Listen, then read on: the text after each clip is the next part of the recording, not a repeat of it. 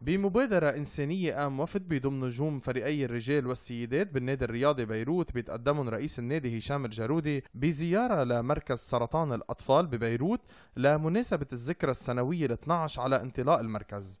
وكان باستقبال الوفد كل من فاروق جبر أمين سر ورئيس لجنة جمع التبرعات بالمركز والسيدة هناء الشعار شعيب مدير عام المركز والسيدة سلوى سليمان رئيس مجلس الأمناء. وبأجواء احتفالية تم التقاط الصور التذكارية مع الأطفال ومع القيمين على المركز ومع الأهالي. ومن بعدها قدم السيد جبر شعار حملة دعم المركز للرئيس هشام الجرودي يلي أكد على أهمية دعم هيك نوع من المؤسسات. نحن اليوم بمركز طبي من أحدث وأجمل ما موجود لمعالجة مرضى السرطان اللي قلائل مثل هالمركز في العالم العربي. ونحن بنعتز بأنه يكونوا لاعبين النادي الرياضي وأبطال لبنان والعرب وآسيا برفقة هالأطفال ليعطوهم المحبة وليفرجوهم روح العطاء بأي فرع اللي كان وبأي مكان اللي كان. لاعبين النادي الرياضي بيعرفوا إنه مهمتهم الرياضية منا بعيدة ابدا عن العمل الإنساني لهيك كانوا سعداء جدا بهالزيارة. أنا مثل هيك events بكبروا القلب فعلا. هذه خطوة كثير مهمة للنادي الرياضي وللبنان كله. إنه لازم أصلا مش بس يمكن بوقت events لازم دائما نصير نطلطل لهون على هذا ال center اللي هو أنا مش أول مرة بيجي شيء فعلا بكبر القلب. أول شيء نحن دائما we support كوزز هيك بالرياضة.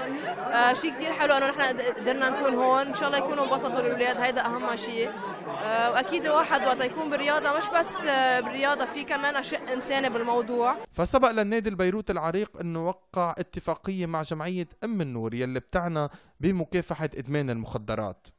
ونحن عندنا رسالة على طول بنقول إنه نادي رياضي ما شغلته بس يلعب رياضة.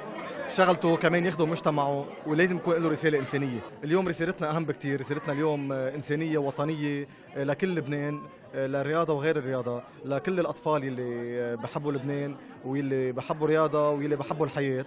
اليوم نحن رسالتنا هي لمركز سرطان اللي من كله كل الاحترام وكل التقدير. يمكن لازم ندعمه أكثر من هيك. هيدي جست صغيرة منا نحن عقدنا لدعم لهالجمعيه الخيرية الممتازة المهمة. يلي عارفين قد إيه عم تعطي للاطفال بلبنان. ونحن جنبها على طول شو ما تعوز منا. هيدي بداية لرسالات النادي الرياضي. وإن شاء الله مكفيين بهالطريق. من ناحيتهم القيمين على المركز أكدوا إنه هيك نوع من المؤسسات هو هدفه خدمة المجتمع اللبناني وخصوصا الأطفال. ودعوا الجميع إلى إنه يكونوا أمام هالرسالة الإنسانية. اولا نحن اليوم عم مناسبة اللقاء اليوم مع النادي الرياضي اللي هو بالحقيقة بيساهم دائما بالنشاطات المشتركة لصالح الجمعيات اللي مثل مركز سرطان الأطفال بنشاطات كتير مفيدة. السنة عم عم نحتفل بالعيد مرور 12 سنة على تأسيس هذا المركز. بالمشاركة مع المركز الطبي للجامعة الأمريكية في بيروت وجمعية سرطان الأطفال يلي هي بالحقيقة بنفتخر إنه من لما بلشنا لهلأ أثبت المركز على إنه هو المركز الرئيسي في لبنان وفي الشرق الأوسط لمعالجة سرطان الأطفال. وللأبحاث في مرض سرطان الأطفال.